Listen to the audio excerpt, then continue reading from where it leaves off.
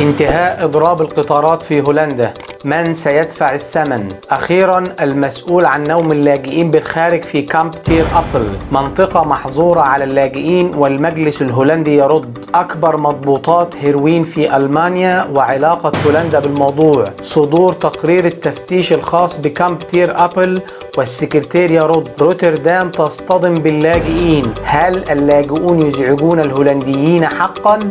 تقرير استقصائي عن أكبر 30 كامب في هولندا. فأهلا بكم في نشرة الأخبار الهولندية لأهم وآخر ما حدث في هولندا.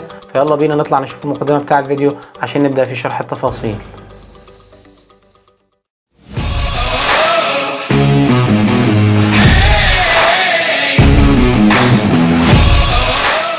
أهلا بيكم. انتهاء الإضراب والموافقة على بعض مطالب العاملين وغلاء تذاكر السفر في الصورة. اللي حصل إن شركة القطارات الهولندية إن إس أخيرا وافقت على بعض المطالب للعاملين هناك وده معناه إن هم هيعلقوا الإضراب بتاعهم هيبطلوا إضراب مؤقتا لأن هم كانوا مخططين لإضرابات أخرى هتصيب حركة القطارات في جميع أنحاء هولندا بالشلل وده أكيد هيأثر على حركة انتقال الموظفين والمواطنين الهولنديين ما بين المدن وبعضها. الاتفاق كالآتي هيتم زيادة الأجور بتاعتهم بنسبة 5.8% بأثر رجعي بداية من 1 7 شهر 7 اللي فات بداية من 1 7 كل واحد شغال في شركة القطارات الهولندية. إن إس هيزيد الراتب بتاعه بنسبة 5.8% وبداية من السنة اللي جاية هيزيد الراتب بتاعهم كمان مرة 3.4% أو 48% وكده يصل المجموع النهائي لزيادة الرواتب للعاملين في شركة القطارات الهولندية إن إس ل 9.2%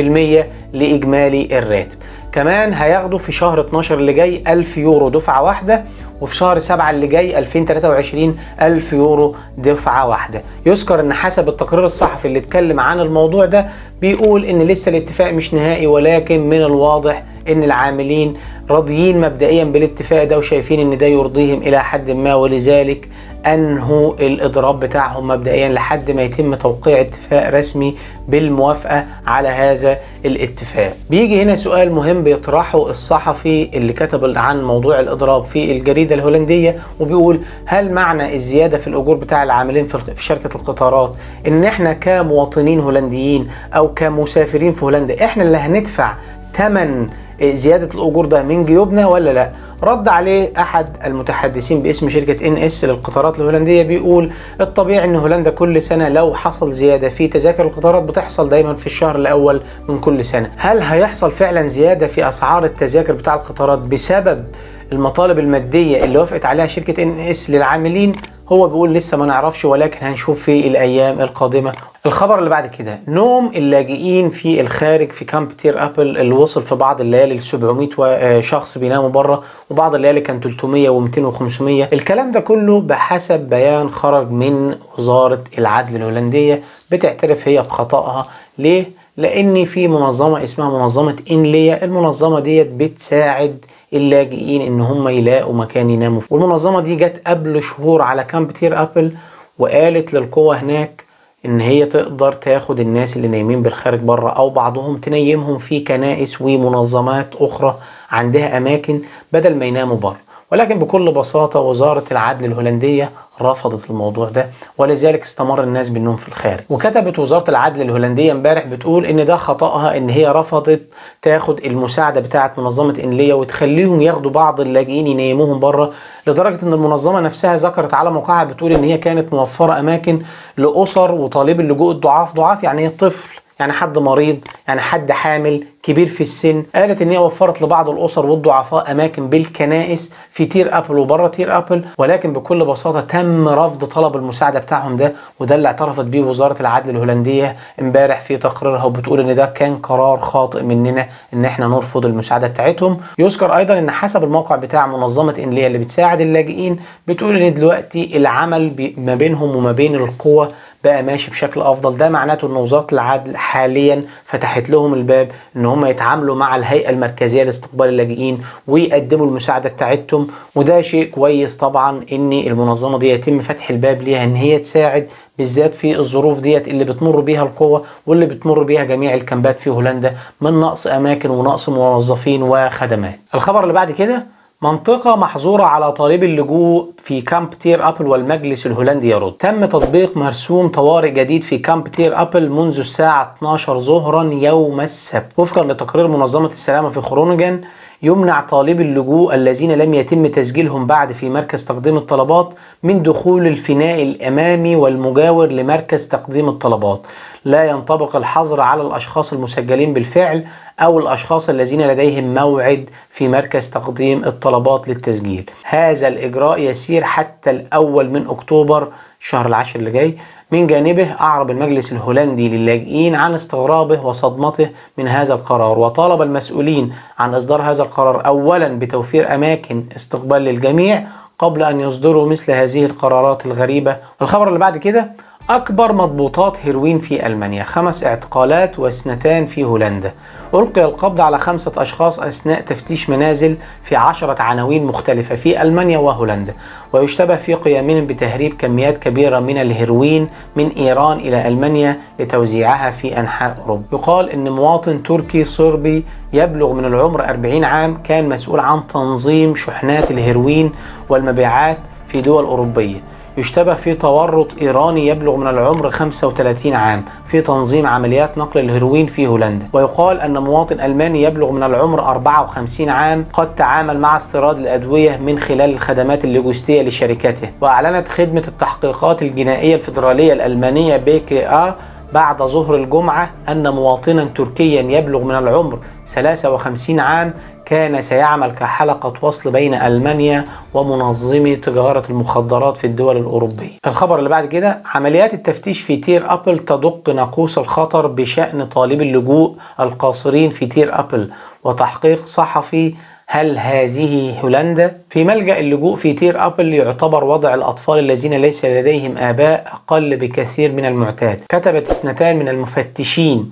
هذا في رسالة إلى سكرتير الدولة فاندربورغ. تطالب مفتشية الصحة ورعاية الشباب ومفتشية العدل والأمن وزير الدولة بعدم تأخير التدخل. وبحسب رأيهم فإن القاصرين غير المصحوبين معرضين لخطر كبير ويتعين نقلهم إلى أماكن أخرى في البلاد. تمت عمليات التفتيش في تير أبل أمس وكان هناك 213 قاصر غير مصحوبين بذويهم وفقا للمفتشين هناك حقا مكان فقط بحد أقصى ل 55 طفل قاصر في مكان ل 55 وهم 213 اجمالا. ولا تستطيع القوى الآن مراقبة سلامة الأطفال وصحتهم ورفاهيتهم.